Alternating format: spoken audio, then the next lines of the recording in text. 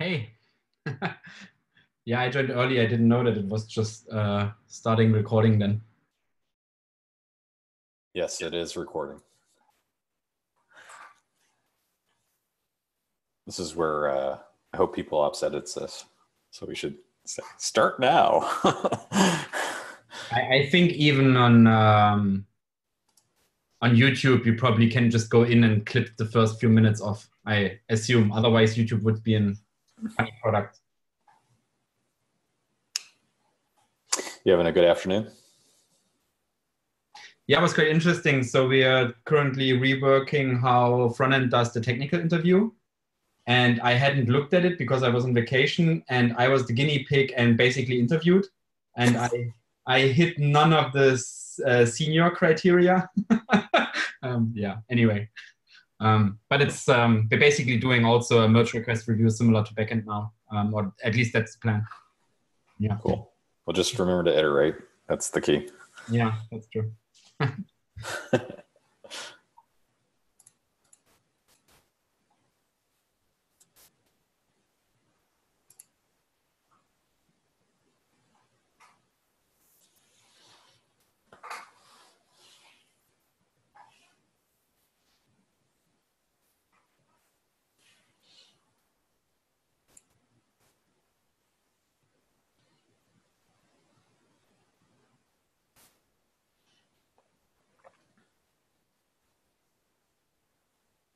Hi, everyone.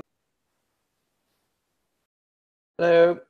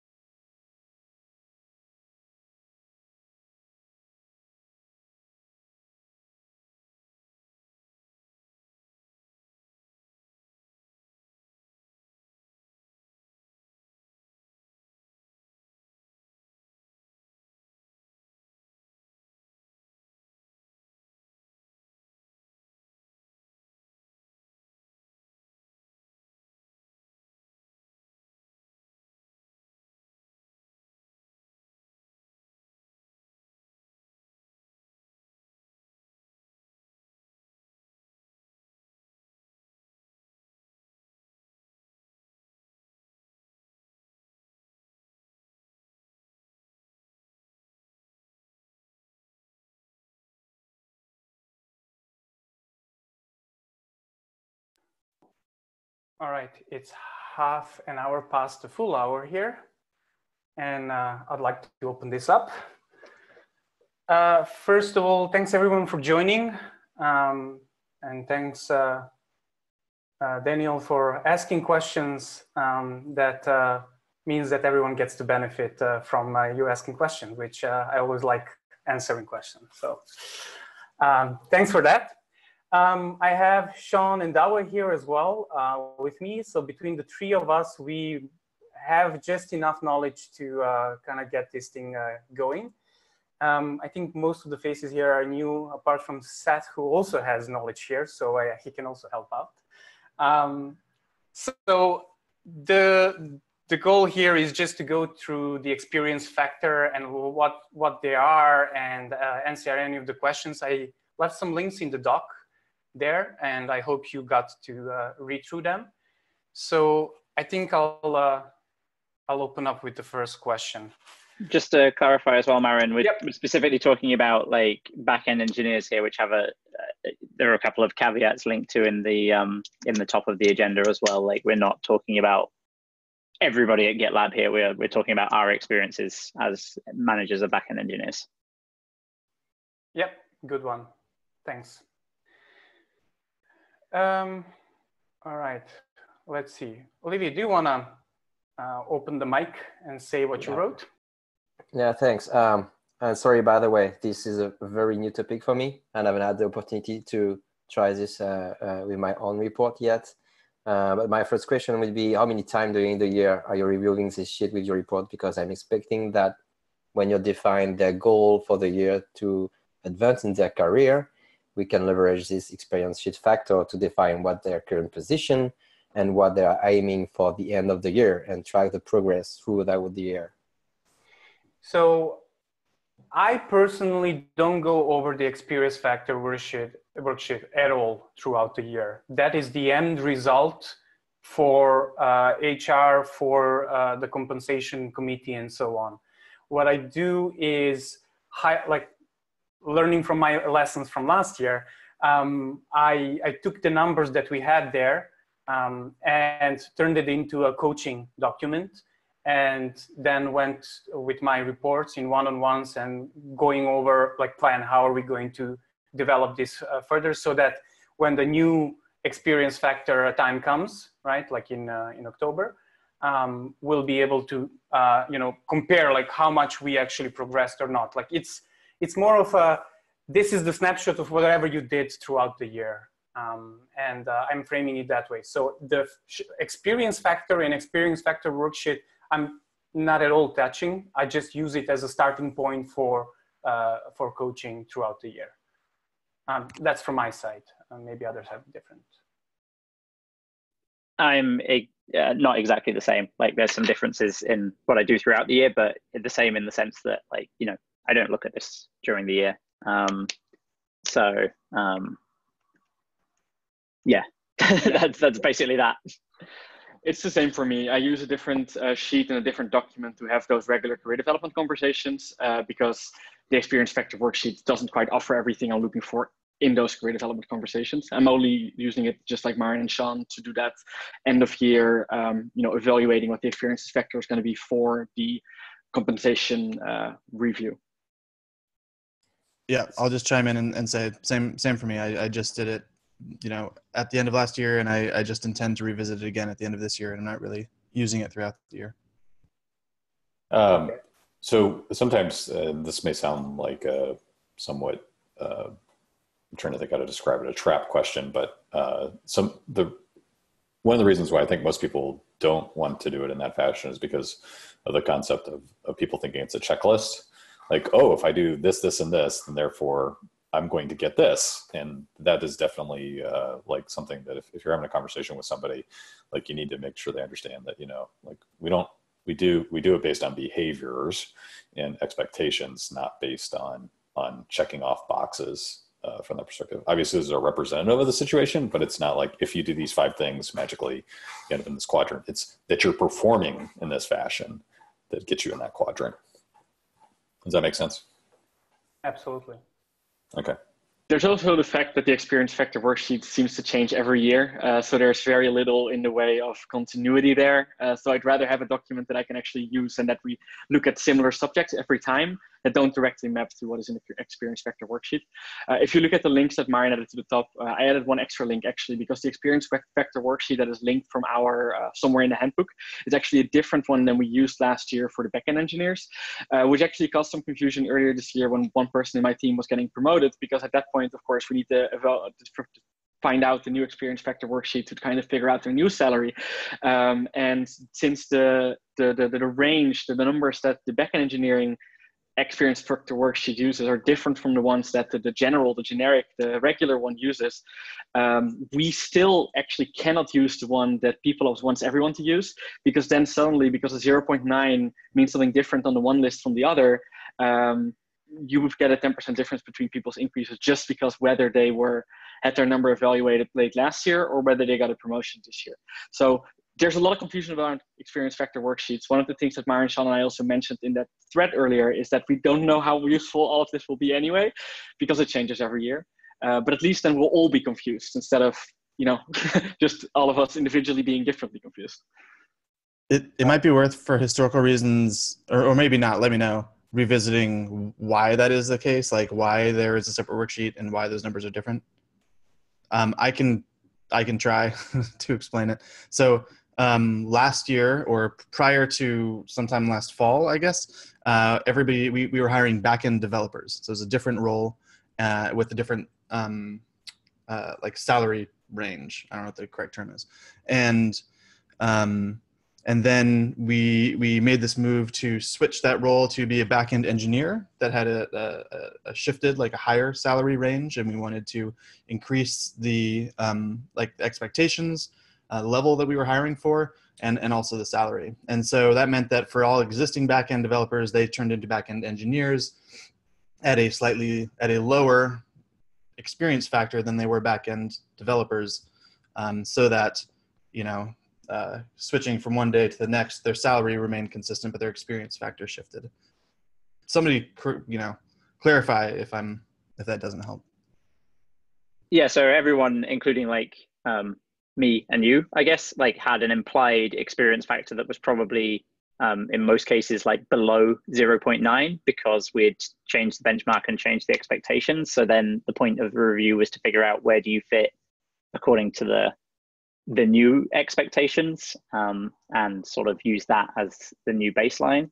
Um, the other issue we had was we were using the um, requirements from the job description, but there is a question about whether we use that or the career matrix, like how those all fit in together.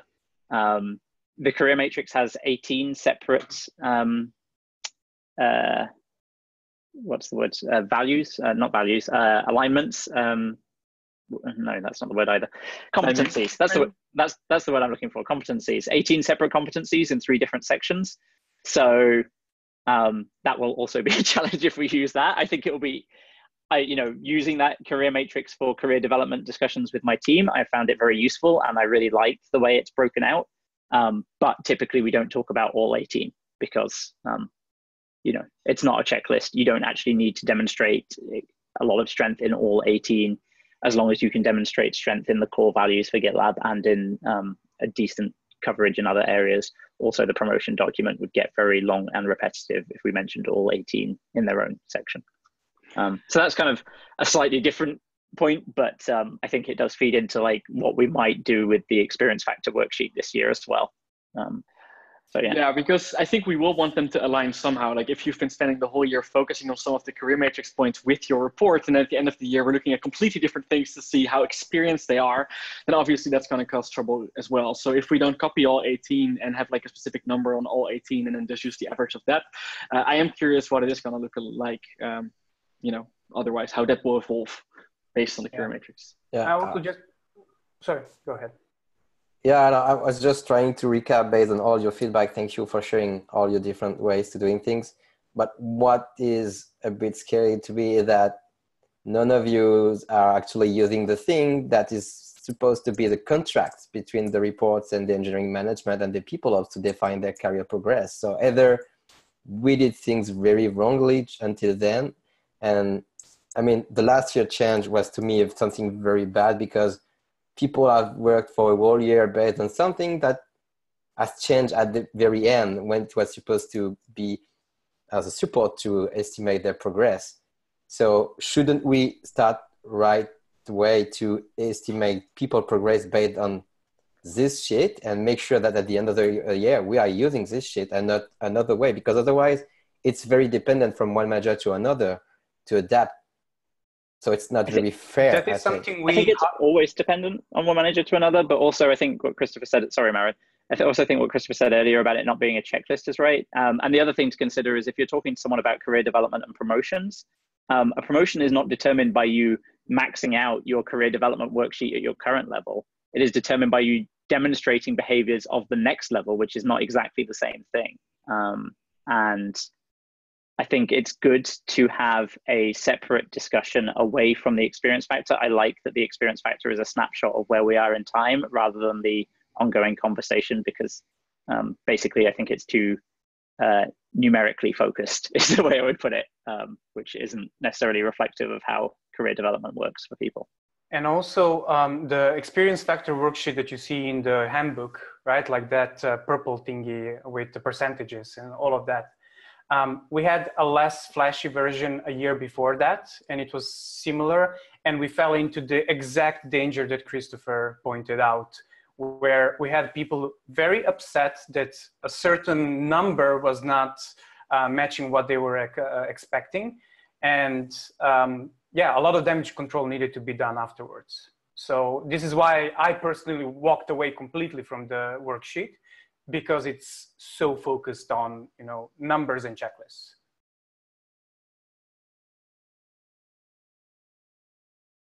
Um, Want to move along to the next questions?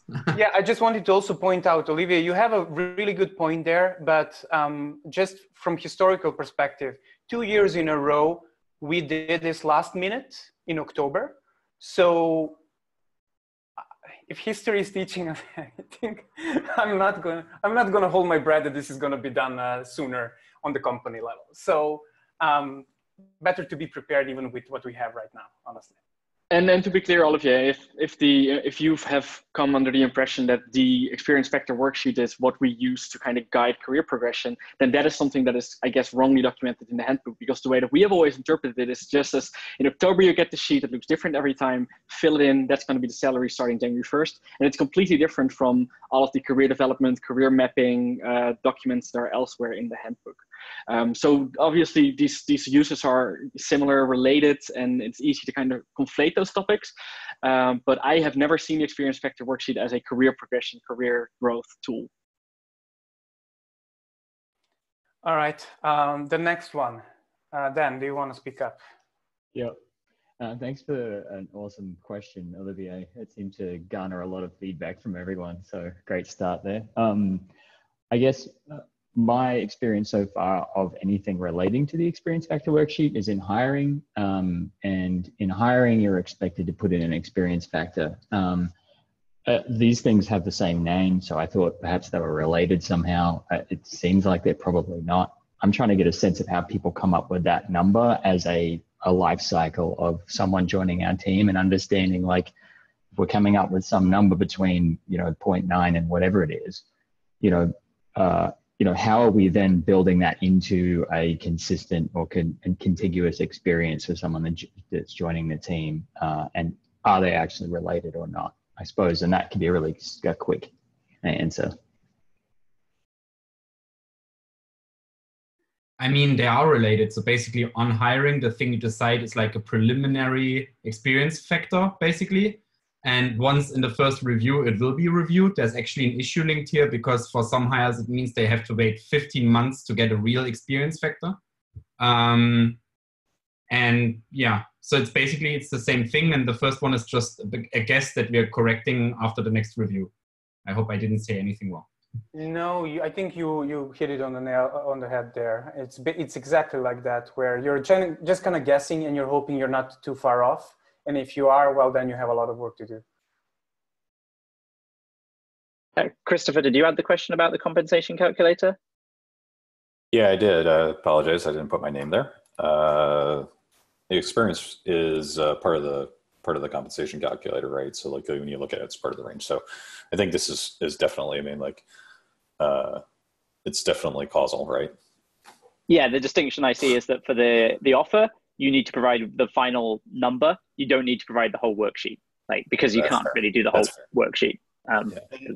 Also, to, to be clear, I- I don't know if this is different for anybody else, but I, I don't like look at the actual worksheet when I'm doing hiring. I just go based on like this person. oh no, I'm absolutely the same. Yeah.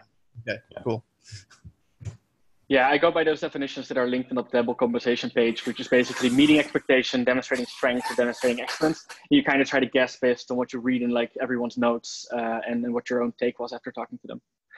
But obviously, this is going to be off in some cases. Uh, I don't know what we would do if someone has a significantly lower number the next review comes around, because we of course cannot actually dial down their salaries. Uh, I mean, right, but if someone has significantly lower thing, you're gonna notice it in the first one or two months, right? And right, we have a different conversation at that point. Yeah, that's performance management, right? Exactly. Depending depending what the delta is, we're talking about. Like well, we interviewed them and we thought they would be excellent, and then it turns out that they're s- only strong. Then I don't know if we should say we want you to be excellent unless you don't have a job anymore. I don't know if it becomes performance management if they are meeting the requirements or just not as excellent as we thought they would be. But that's also kind of a separate conversation, I think, from what we're having here. Yeah, I, think of it more as uh, transparency, where uh, you're communicating that you know, like the likelihood that you're going to get any further increases is pretty low if uh, we think that we brought you in at a higher higher experience factor than where you're currently performing. That would be Makes the sense. that would be the transparent. Like that is coaching. like, like, it's it's it's being transparent and then having the discussion. Okay, like they may ask, well, how do I get better? And then that's where the conversation goes from there, right? So. Uh, yeah, at the risk of, I don't want to extend another question into 20 minutes or whatever. Um, and I feel I've got a bunch of questions down here, so I, I want to be careful with time. Um, could anyone sort of walk through an example, or do we feel like that's just too long-winded to go through here, given um, given that it's obviously fairly complex and somewhat undefined? So um, I'll just say that a team input, team member input here, and manager input here. I have never had a situation where those numbers were different, mostly because I defined those numbers with my report prior to any uh, filling of the document, right? It is, um, I'm, I'm leading this in a, in a one-on-one conversation where I'm saying like, hey, I'm thinking about this number because of the reasons. Uh, what is your view on this? Where are we, where are the gaps? In 95% of the cases, the numbers are spot on because I've been working with the report for a year, like throughout the year.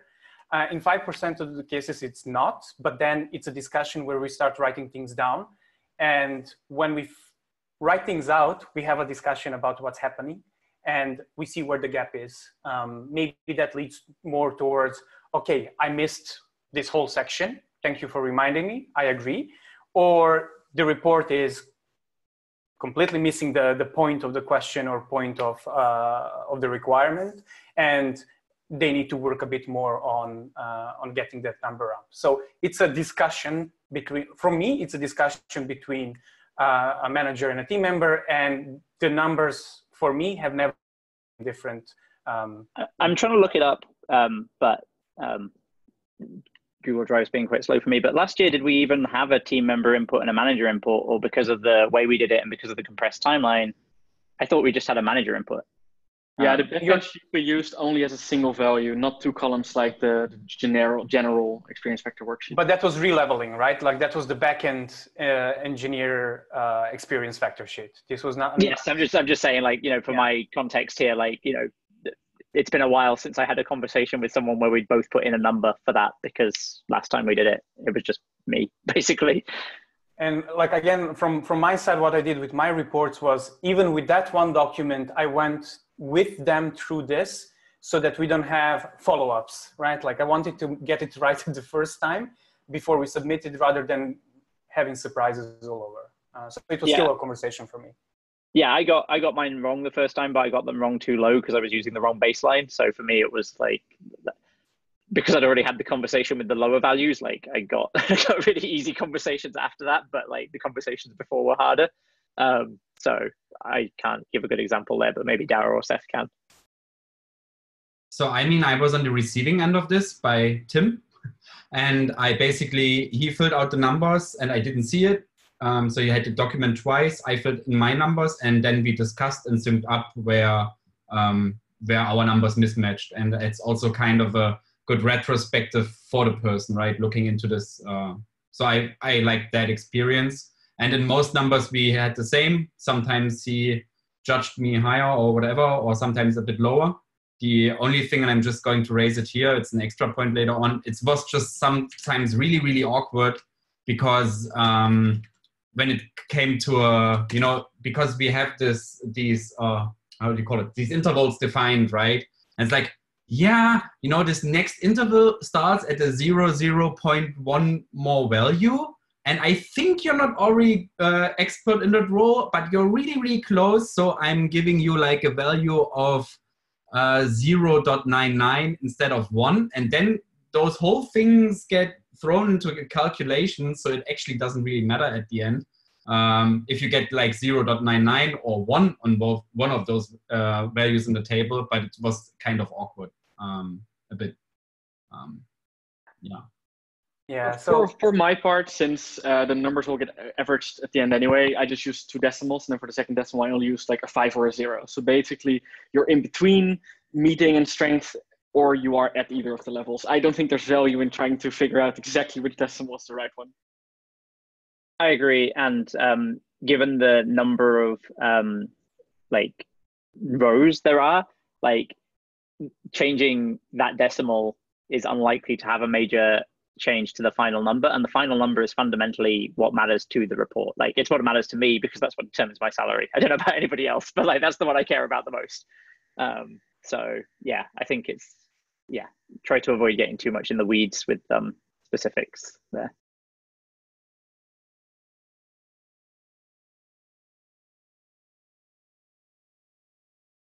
Um, all right, Lucas. Yes. Okay. Next point. I and I think it was already part of the first big uh, discussion blurb. Um, how do you? So you basically don't use the experience factor sheet at all for career development, or do you drive something out of it uh, for your normal career development that we're doing, uh, that you're doing? Um, so, like I said, I personally don't. I don't use the experience factor worksheet at all.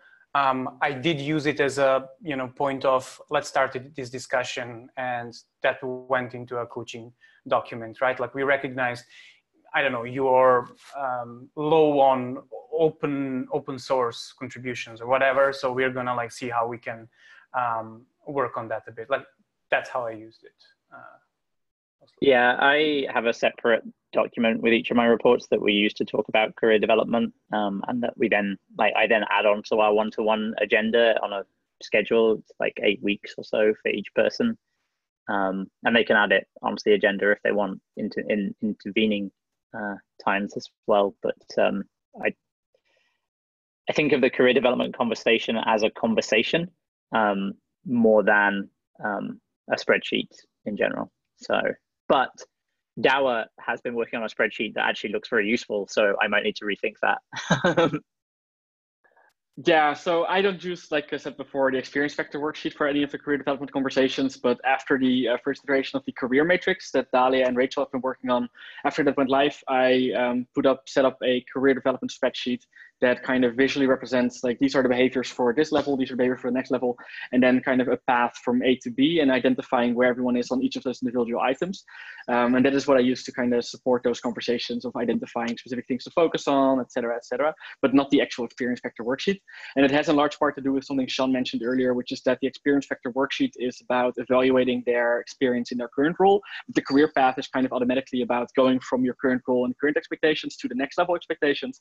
And then um, you know whether they start showing some of those, which is not really represented well if you're just kind of trying to grade the current level expectations on a scale of 0.9 to 1.1. Can you share that? Uh, will, are you willing to share I'll that? put the link in. Yeah, yeah. I shared it in a awesome. Slack thread last week. I'll put a link in. Awesome. Um, for, for career coaching, uh, on my side, I have a, also a separate sheet where um, I am focused on quarters. So we have like previous quarter and the next quarter, right? Like what we've been doing this quarter and um, what kind of changes did we do and what kind of goals do we want to set for the next one.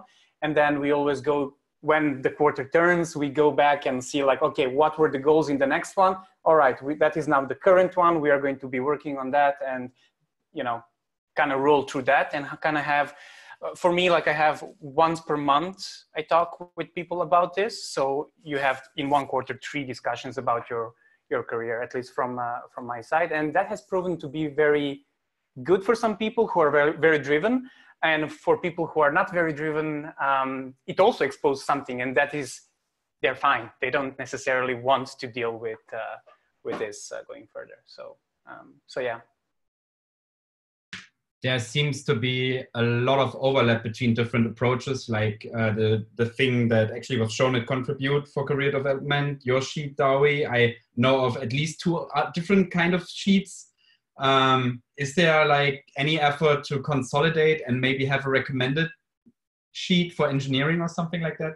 Um, I think it would be very helpful to because I found that um, if you hand off, you know, because we are growing so fast, if you hand off an IC to an to the next manager, it's kind of hard if we don't have like a standardized format to also give the um, career development um, or you know to hand that over as well. I think you can overfit on the format. Um, like you know, if we had this standardized format before, it would have changed when we'd introduced the career matrix anyway.